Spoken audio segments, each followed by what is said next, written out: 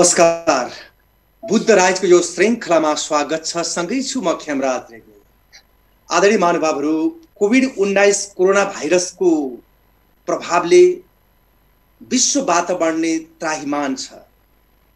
नेपालमा पनि लाखौँ नागरिकहरू यो भाइरसको कारणले सङ्क्रमित बने र सँगसँगै कयौँ नागरिकहरूले आफ्नो ज्यान गुमाए कति नागरिकहरू निको भएर पनि घर फर्के। यसले एकातर्फ मानवलाई चिन्तित बनाइरहेको छ भने अर्कोतर्फ मानिसले गर्ने सबै व्यवहारहरूमा धेरै अवरोधहरू खडा भइरहेको छ चाहे त्यो व्यापार होस् चाहे उद्योग होस् चाहे शिक्षा होस् चाहे अन्य क्षेत्र हरेक क्षेत्र वास्तवमा अस्त व्यस्त छ। अब नेपालीहरूको महान पर्व विजया दशमी पनि सकिसकेको छ विशेष गरी चाडबाडको बेला धेरै मानिसहरू आफन्तको घरमा टिका लगाउन जाने र यसरी जाँदाखेरि सङ्क्रमण पनि सँगै लिएर जाने यसले अझै बढी सङ्क्रमण ल्याउँछ कि भन्ने विज्ञहरूको धारणा पनि थियो। यो परिस्थिति कहिलेसम्म निमिट्यान्न हुन्छ त्यो त प्रतीक्षाकै घडी छ। तर विभिन्न सङ्घ संस्थाहरू विभिन्न व्यक्तित्वहरू यसको नियन्त्रणमा महत्त्वपूर्ण भूमिका निर्वाह गर्दै आएका छन्। विशेष गरी औषधिले नै जीवन बाँच्न सक्छ तर कोभिडको औषधि छैन भनेर भनिन्छ तैपनि केही न केही उपाय र यसको केही अवलम्बनहरू गरेर अगाडि बढ्न सकिन्छ भन्ने धारणाहरू पनि सार्वजनिक भएका छन् र सँगसँगै आफै सङ्क्रमित भएर निको भइसक्नु भएका र सँगसँगै त्यो अवस्थामा रहँदाखेरि त्यसको प्रभाव कस्तो रह्यो र सँगसँगै त्यसलाई जित्नका लागि के कस्ता प्रयत्नहरू भए यी विविध सन्दर्भमा र सँगै रूपन्देही जिल्लामा औषधिको परिपूर्तिमा कतिको अप्ठ्यारो छ यी विविध सन्दर्भमा आज हामी घनीभूत रूपमा छलफल गर्दैछौँ। हामीसँग हुनुहुन्छ औषधि व्यवसाय सङ्घ रूपन्देहीका अध्यक्ष सुरज भट्टराई। आउनुहोस् यो कार्यक्रममा म उहाँलाई स्वागत गर्न चाहन्छु। सुरजी यहाँलाई स्वागत छ। हजुर नमस्ते। आराम हुनुहुन्छ? ठिक छ एकदम राम्रो छ। अब बडो अप्ठ्यारो परिस्थितिबाट मुक्ति पाउनु भएको व्यक्ति पनि हो यहाँ वास्तवमा आफै एउटा औषधि व्यवसाय सङ्घको नेतृत्व पनि गर्नुहुन्छ। अहिले तपाईँको स्वास्थ्य स्थिति कस्तो छ? यहाँबाट म कार्यक्रम सुरुवात गर्न चाहन्छु। हजुर खेमराजजी अहिले मेरो स्वास्थ्य टोटल्ली ठिक छ। म पहिलाकै जस्तै अवस्थामा पुनः आफ्नो जीवी जीवन अगाडि बढाइराखेको छु र मेरो स्वास्थ्य पनि अहिले टोटल्ली ठिक छ। तपाईँ त्यो अवस्थामा रहँदाखेरि कस्तो थियो तपाईँको अवस्था? त्यो सङ्क्रमणले कतिको प्रभावित पार्यो? त्यसलाई जित्नको लागि तपाईँ के कस्ता प्रयत्नहरू गर्नुभयो? मलाई जति बेला कोभिड सस्पेक्टेड भएँ म तुरुन्तै आफूलाई होम आइसोलेसनमा राखेर त्यसको पाँच दिनपछि मैले चेक गर्दा मेरो रिजल्ट पोजिटिभ आइसकेपछि र मलाई सस्पेक्टेड भएर आफूलाई होम आइसोलेट गर्दा नै म परिवारबाट टोटल्ली म सेपरेट भइदिएँ। मैले प्रयोग गर्ने सम्पूर्ण चिजहरू मेरो नितान्त व्यक्तिगत मैले मात्रै प्रयोग गर्ने बनाएँ। त्यसले गर्दाखेरि परिवारको अन्य सदस्य मेरो श्रीमती बाहेक अरूलाई सङ्क्रमण भएन। श्रीमती हामी एउटै रुममा अब त्यो थाहा हुनुभन्दा अनुमानको भरमा हामी सेपरेट हुनुभन्दा अगाडि चाहिँ एउटै बेड प्रयोग हुने हुनाले त्यो सायद उनीलाई चाहिँ सङ्क्रमण भयो। अरूलाई मैले सङ्क्रमणबाट बचाउन सफल भएँ। अब होम आइसोलेसनमा बस्दा आजभन्दा दुई महिना अगाडिको कुरा हो। खेमराजी अहिलेको कन्डिसन? यो पेन्डामिक कन्डिसन यति स्पिडमा चेन्ज यो अहिले सिनारियो चेन्ज हुँदो रहेछ। त्यति बेला वैशाख जेठमा जुन खालको डर थियो त्यसपछि असार श्रावणमा महिनामाहरूमा अलिकति पब्लिकले नै अलिकति डर नमानेको खुल्लम खुल्ला भएर हिँडेको अवस्था थियो र पनि दुई महिना अगाडि म सङ्क झन्डै दुई महिना दुई महिना पुरा भएको छैन। म सङ्क्रमित हुँदा सङ्क्रमितलाई हेर्ने दृष्टिकोणै समाजको एकदमै फरक थियो। उहाँहरूले गर्ने व्यवहार भन्दा पनि हेर्ने दृष्टिकोण किनभने व्यवहार त हामी जबसम्म नेगेटिभ रिपोर्ट आउँदैन तबसम्म उहाँहरूले गर्ने व्यवहार हेर्न बाँकी नै रहन्छ। त्यो अवस्थामा पनि आफूलाई सम्हालेर मैले एउटा समाजमा औषधि क्षेत्रको यस जिल्लाको अध्यक्ष भएको नाताले पनि यस बेलामा हामीले क्रिटिकल कन्डिसनमा पनि सहज औषधिको आपूर्ति हाम्रो दायित्व बोध गर्दै त्यस क्षेत्रलाई पनि मैले आफूले सक्ने ठाउँहरूमा कम्युनिकेसनको मार्फत टेलिफोनको मार्फत त्यसलाई सहजीकरण गर्दै आफ्नो स्वास्थ्यको ख्याल गर्दै घरमै बसेर पनि आफ्ना कतिपय सामान्य व्यावसायिक गतिविधिहरूलाई पनि अगाडि बढाएर म अगाडि बढेँ। र त्यो बिचमा मेरो अनुभव भन्दा हामीले जसरी मैले पनि सामान्य त लिएको थिएन तर पनि कता कता यो कोभिड भनेर धेरै हाउगुजी बनाइयो कि यो त केही होइन सामान्य रूपमा जितिएला। भन्ने खालको जुन मलाई थियो जब मलाई पर्यो त्यस्तो होइन रहेछ। जब मलाई सङ्क्रमण भएँ त्यसले अत्यन्तै सूक्ष्म रूपमा शरीरलाई दुःख दिने रहेछ। त्यो मेरो अनुभव रह्यो। सामान्य ज्वरो होइन रहेछ। उनान्से सय ज्वरो आउँछ तर शरीरको फिलिङ्स चाहिँ अर्कै एक सय चार पाँच डिग्री ज्वरोको हुन्छ। म उच्च मनोबलका साथ थिएँ र पनि मैले त्यो फिल गरेँ। सँगसँगै शरीरको दुखाइ छालाहरूमा पोलाइ अनि तपाईँको एसिडिटी बढ्ने खाना अन्डाइजेसन हुने खाना मिठो नहुने भमिटिङ हुने खोकी लाग्ने त सामान्य नै लिएँ मैले र शरीरमा एकदमै विकनेस फिल हुने यी यावत कुराहरूले चाहिँ अत्यन्त दुःख दियो। त्यो सँगसँगै फेरि आफ्नो एक्लोपन जुन घरमा बस्दाको एक्लोपन घरबाट बच्चाहरूसँग नजिक हुन डर लाग्ने आमा बुवासँग बोल्न पनि डर लाग्ने त्यो अवस्था र त्यसको बावजुद पनि करिब सात दिन आठ दिनपछि त सामान्य मेरा सङ्घ सङ्घ संस्थाका साथीभाइहरू आएर बाहिरबाट टाढाबाट बोल्दा पनि शरीरले खुसी महसुस गर्ने। यो चिज यो अत्यन्तै कठिन साथ पार गरेर स्वास्थ्य पनि अत्यन्तै कमजोर महसुस भएर पनि मैले अन्य बाहिरी व्यक्तित्वहरूलाई घर परिवारलाई यस्तो डर नहोस् भनेर मैले आफ्नो हाँसोकोपन आफ्नो शरीरको फुर्ती कहिले पनि मैले कमजोर देखाइनँ। र पनि हामी त्यसबाट नेगेटिभ आउने पछि चौध दिन करिब बाह्र दस दिन मैले दस दिनपछि नै मैले चेक गराएँ मेरो नेगेटिभ आयो। नेगेटिभ आइसकेपछि म अर्को दिनै म आफ्नो कार्यक्षेत्रमा फर्किएँ। बाहिर निस्किने बेलामा टोल छेउहरूमा अलिक साथीभाइहरू आफन्तीहरू डराए जस्तो महसुस गरेँ। अफिस जाँदा स्टाफहरू पनि के के डराएको हो कि भन्ने महसुस गरेँ। तर मैले उहाँहरूलाई मिटिङै राखेर यो बारेमा सबै ब्रिफि ब्रिफिङ गरिसकेपछि उहाँहरू सबै अलिक सहज भाउनुभयो र म आफ्नो कार्यक्षेत्रमा गइरहँदा मेरो अफिसमा दुई तला चढेर जाँदा पनि मलाई थकान महसुस हुन्थ्यो। त्यो मलाई पहिला कहिले पनि भएको थिएन। यो खालका कमजोरी महसुसहरू पछि करिब दस दिनसम्म रह्यो र चौध दिनपछि मैले आफूले प्लाज्मा पनि डोनेट गरेँ। सोह्र दिन मैले सङ्क्रमणको नेगेटिभ आएको रिपोर्ट नेगेटिभ आएको सोह्र दिनपछि मैले र मेरो श्रीमतीले पनि प्लाज्मा डोनेट गऱ्यौँ। प्लाज्मा डोनेट गरेको चार पाँच दिन पछिसम्म पनि हामीलाई हल्का विकनेसहरू फेरि पनि रुगा लाग्ला जस्तो खोकी लाग्ला जस्तो शरीरमा आलस्यता यो पनहरू थियो र अहिले पछिल्लो एक हप्तादेखि ममा पूर्ण रूपमा म पर्फेक्टली ठिक भएको छु। पहिलाको अवस्था जस्तो थियो त्यही अवस्थामा तपाईँ फर्कनुभयो पुरानै अवस्थामा म कार्यक्षेत्रदेखि आफ्नो स्वास्थ्य दुइटै कुराले म फर्किएको छु। जस्तै सुरजी अब यो महामारी दिनानुदिन बढ्दो छ। यो महामारी दिनानुदिन बढ्नुको पछाडि स्वयं नागरिक सचेत नभएर हो भनेर भन्न सकिन्छ। एकदमै खेमराजी यो हजुरले मैले जे मलाई फिल गरेको त्यो कुरा यहाँले भन्नुभयो।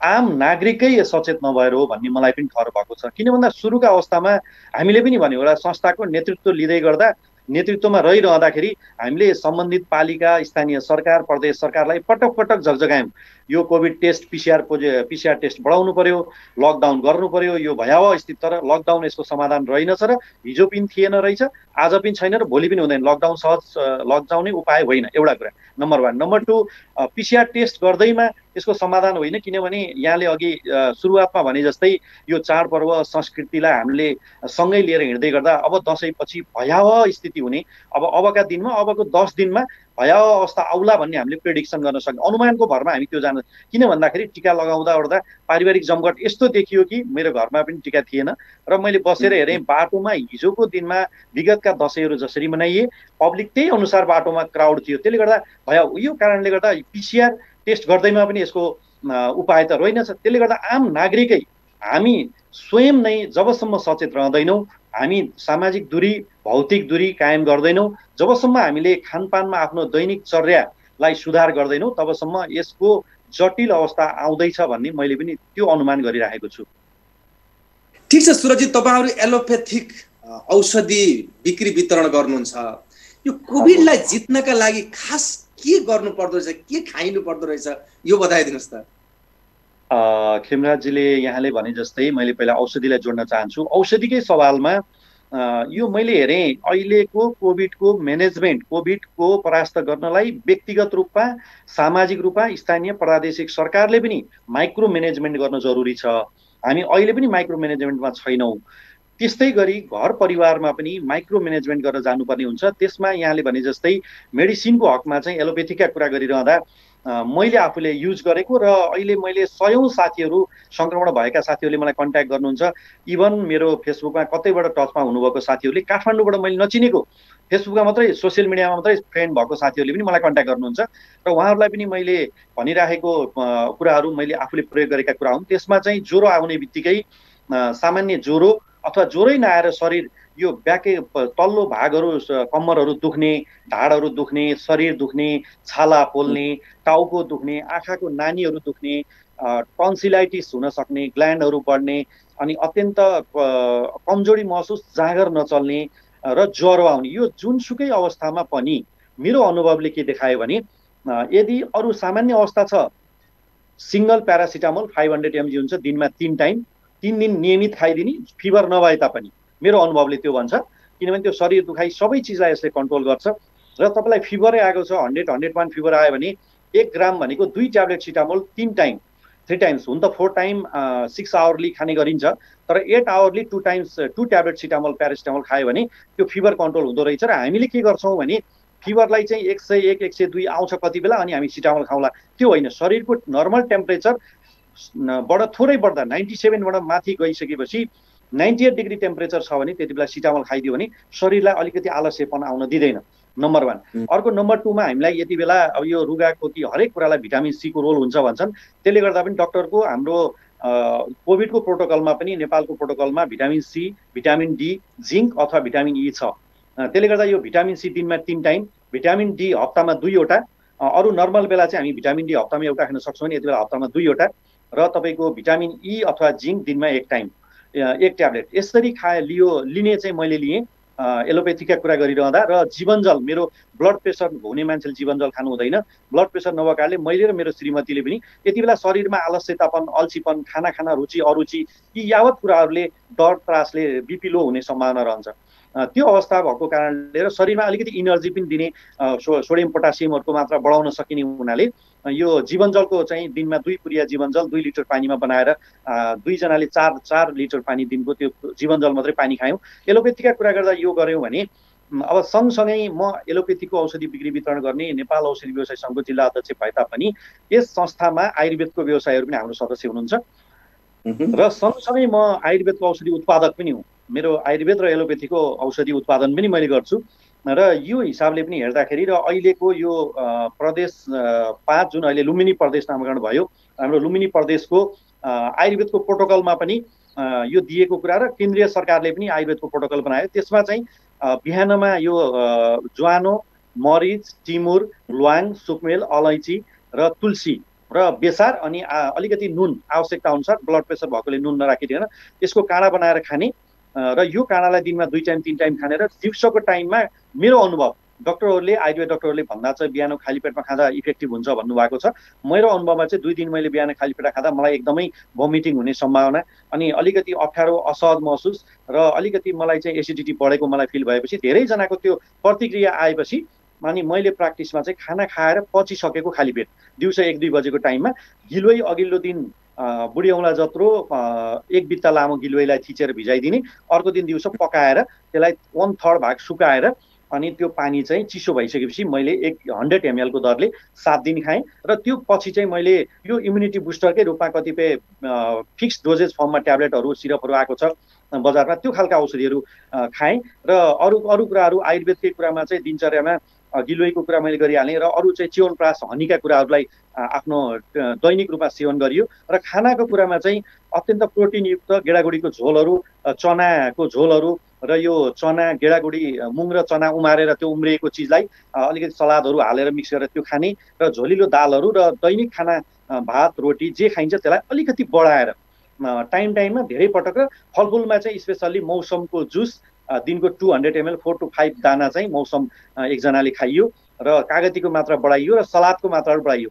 यो चिज र तातो पानीको बाफ दिनमा पाँचदेखि सात पटक एक पटकमा दुई मिनटभन्दा बढी नलिने गरी एकदमै तातो पानीको बाफ लिने काम गरियो र तातो पानी बिस मिनटमा खाइयो। राति बाह्र एक बजी उठेर फेरि तातो पानीको बाफ लिने तातो पानी खाएर सुत्ने गरियो।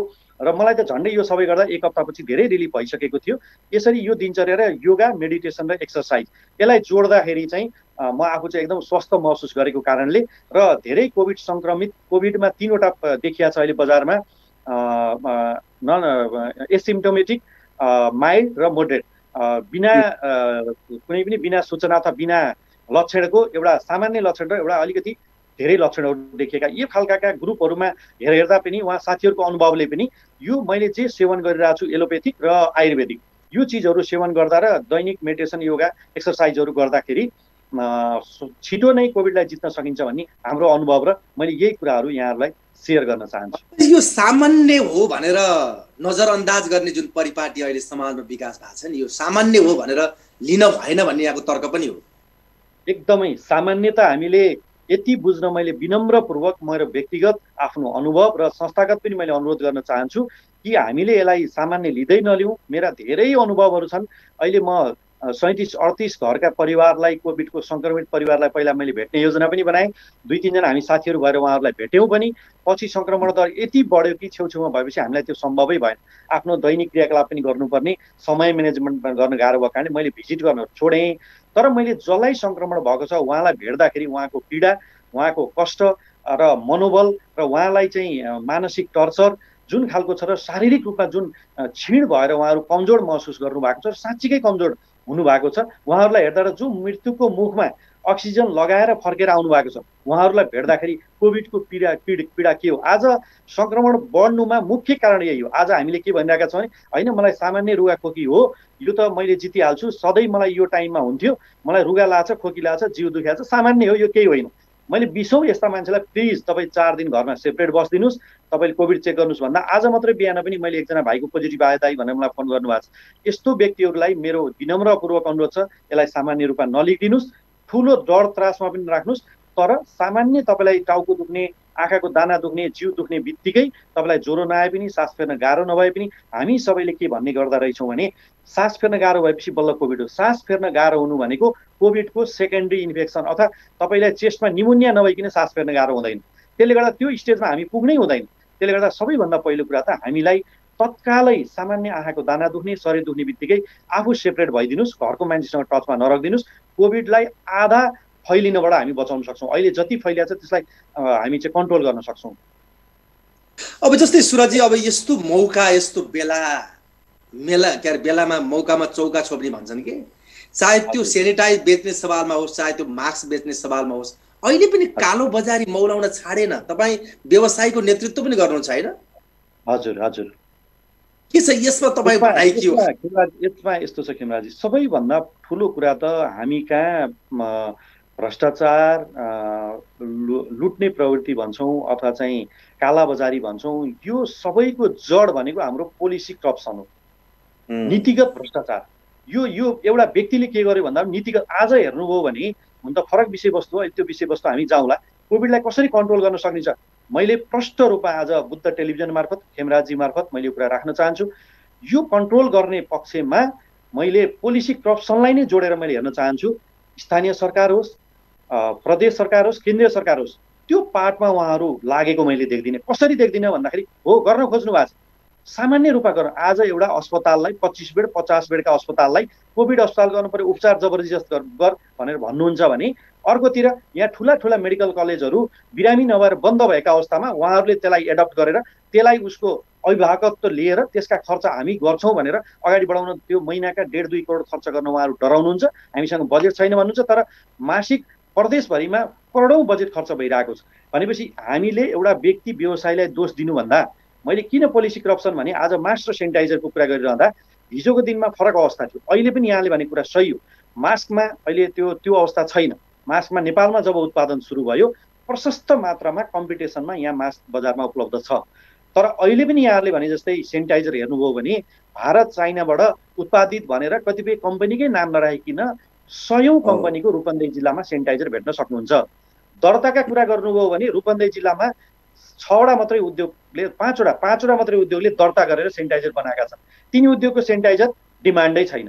किनभने उनीहरूलाई प्राइस कन्ट्रोल गभर्मेन्टले गरिदिएको छ। त्यसको क्वालिटी कन्ट्रोलसँगै प्राइस कन्ट्रोल भएपछि त उनीहरू चल्ने ठाउँमै हुन्न। उनीहरूले मार्जिन बढिदिन। नाफा जेमा बढी हुन्छ। त्यो बेच्ने परिपाटी यही मिडिया मार्फत मैले औषधि मात्रै भन्दिनँ। आज सेनिटाइजरको कुरा प्रत्येक पान पसलमा पनि पाउँछ प्रत्येक कपडा पसलमा पनि पाउँछ। पहिला कुरा त यो रोकिन जरुरी छ।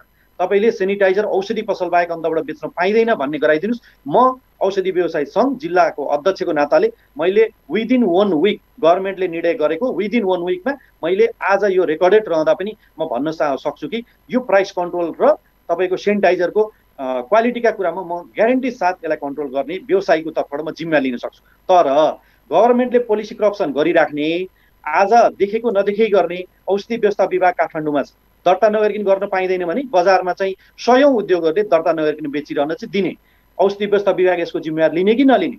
औषधि व्यवस्था विभागलाई देखाएर सिडिओ कार्यालयले जि प्रशासनले जिल्ला प्रशासनले जिम्मा लिने कि नलिने? आज औषधि व्यवस्था विभाग वेबसाइट छ। सिडिओ कार्यालय भइरह हुनुहुन्छ। आदरणीय सिडिओ साहब हुनुहुन्छ उहाँको ध्यान कहाँ छ? आज सेनिटाइजरको आज खेमराजीले कुरा उठाइरहँदा सेनिटाइजरको उहाँहरूले एक्सन लिनुपर्ने होइन।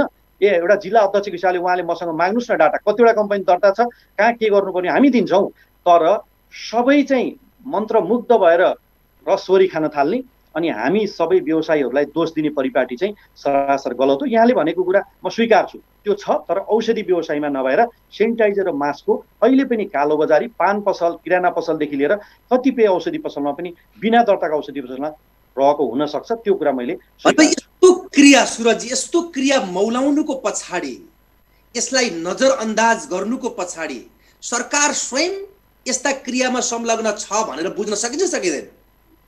अब यसरी मैले एउटा व्यवसायीले अथवा व्यवसायीको लिडरको हिसाबले मलाई सरकार नै संलग्न छ भन्ने कुरा मैले भन्न सक्दिनँ। तर आज हेर्नुभयो भने मैले सबैभन्दा ठुलो दोष ब्युरोक्राटलाई दिन चाहन्छु। किनभने आज ब्युरोक्राट जस्तै मैले अघि पनि नामले म एउटा औषधि उत्पादक पनि हो औषधि व्यवसाय पनि हो औषधि व्यवसायको नेता पनि हो।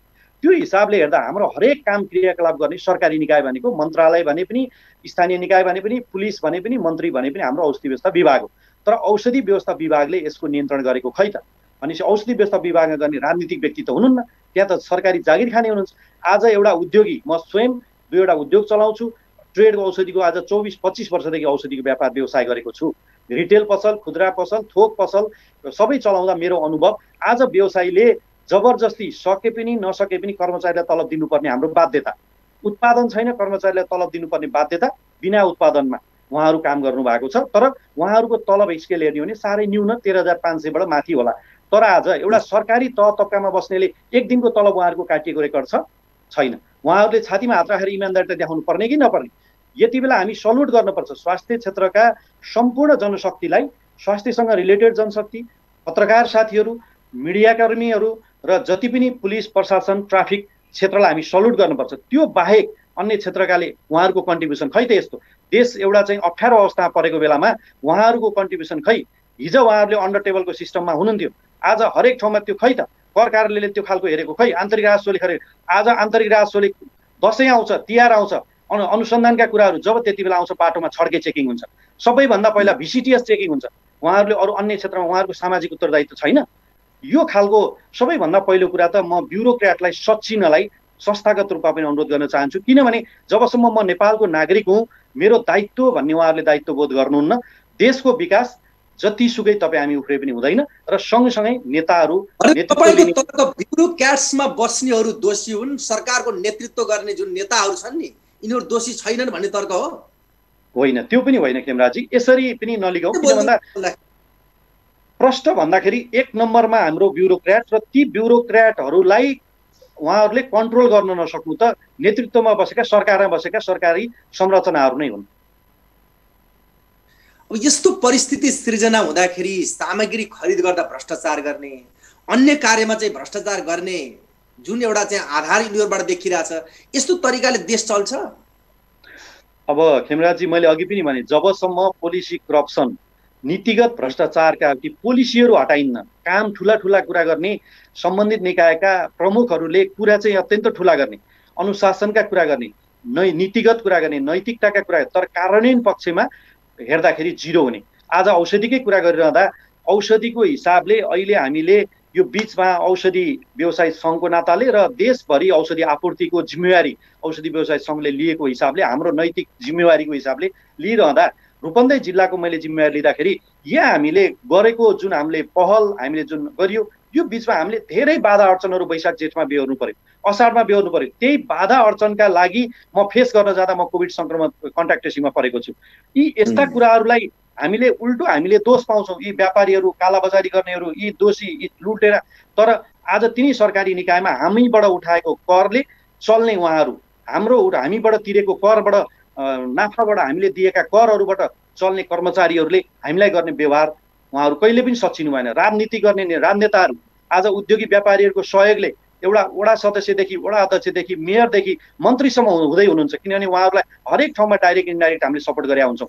तर उहाँहरूले व्यापारलाई हेर्ने दृष्टि जबसम्म देश चल्ने भनेको उद्योग व्यापार कल कारखाना इन्टरप्रेनरहरूले नै हो भन्ने मानसिकता देशको करिडोर सम्हालेका देशको बागडोर सम्हालेका देशको जिम्मेवारी सम्हालेका नेताहरू मन्त्रीज्यूहरूले बुझ्नुहुन्न तबसम्म यो हामीले यसको राम्रा होला राम्रो होला भन्ने आशा गर्न गाह्रै छ। त्यो अवस्था मैले अहिले देखिरहेको छु। बडो गम्भीर परिस्थिति सिर्जना हुँदैछ महामारी बढ्दो छ। सरकार चाहिँ कसैको मृत्युवरण भयो भने अब त्यसको सबलाई दाह संस्कार गर्ने काममा पनि नागरिक आफैले गरून् भनेर भन्छ। यस्तो परिस्थितिबाट अब कोभिडले देशलाई कतातिर लाँदैछ? तपाईँ के भन्नुहुन्छ? अब आर्थिक रूपमा यसलाई अब सामाजिक रूपमा हेर्नुभयो भने त भोलि तपाईँको रुवान्डा रुवान्डा जस्तो नहोला भन्न सकिने। भोलि तपाईँको एकदमै जर्जर भएका हिजोका गृहयुद्ध भएका देश जस्ता हाम्रो कहाँ नहोला भन्न सकिने। यदि सामाजिक रूपमा हेर्दा किनभने मान्छेले घाँस बास कपास नपाएपछि मान्छे जब सडकमा उत्रिन्छ उसले जे पनि गर्न तयार हुन्छ। एउटाको चोरी गर्न थाल्छ भाँडा चोरला सम्पत्ति चोरला त्यो भएर भएन भने घर भत्काएर फलाम बेचेर पनि उसले आफूले जीविकोपार्जन आफूले घाँस जुटाउन प्रयास गर्छ त्यो अवस्था पनि यदि हामी जस्तो देशमा तर त्यो भनिरहँदा हामी निराशावादका कुरा गरिरहनु पनि हुँदैन। अझै पनि हामीसँग समय छ। आर्थिक रूपमा क्रिया गर्ने हो कुरा गर्ने हो भने म आर्थिक डाटामा त अपडेट छैन। तर अहिले यो सात महिनाको अवधिमा अर्थतन्त्र अत्यन्तै जर्जर अवस्थामा छ। यसलाई माथि उठाउनु साँच्चीकै ठुलो चुनौती छ। र यसलाई अब विशेष योजना लिएर अगाडि बढ्ने र आम पब्लिकले पनि हामीले त्यही हिसाबले हेऱ्यौँ भने भोलि फेरि आशाका केन्द्रहरू हामी नेपालीमा छ। आज देश धनी नभए पनि देश गरिब भए पनि हामी जनता धनी छौँ। यो कुरा ध्रुव सत्य कुरा हो। जनतामा सबै धनी हुनुपर्छ भन्ने जरुरी छैन। केही क्षेत्रहरूमा केही व्यक्तिहरूमा अतुक सम्पत्ति छ। त्यसलाई विभाजन कसरी विभाजन उहाँहरूको सम्पत्ति लुट्नुपर्छ लिनुपर्छ दिनुपर्छ भन्ने होइन। त्यसलाई त्यसको त्यसको युज कसरी गर्ने हामीले आज उद्योगी ठुला ठुला उद्योगीहरूलाई प्रयोग कसरी गर्ने? प्रयोग भनेको उहाँहरूले अर्निङ गरेर उहाँहरूको इन्डस्ट्री चलेर पनि देशलाई केही दिने वातावरण बनाउनु पऱ्यो नि त। आज व्यापारीहरूलाई उहाँहरूलाई चल्ने इन्भाइरोमेन्ट सुरक्षाको ग्यारेन्टी गर्नु पऱ्यो एउटा व्यापारी र उद्योगीहरूको बिचमा आम पब्लिक बाँचेको हुन्छ। त्यो चिजहरू बन्द हुने बित्तिकै एउटा उद्योगको कुरा गर्नु भने सामान्य एउटा दस बिस करोडको लगानी गरेर खोलेको उद्योगले सयजना रोजगारी दिएको हुन्छ। त्यो स्वयं उदाहरण म पनि छु। तर मेरै कुरा पृष्ठभूमि हेर्नुभयो भने म कसरी आएँ? मैले कुन मेहनतले गएँ त्यो आज सरकारले हेरेको खोइ।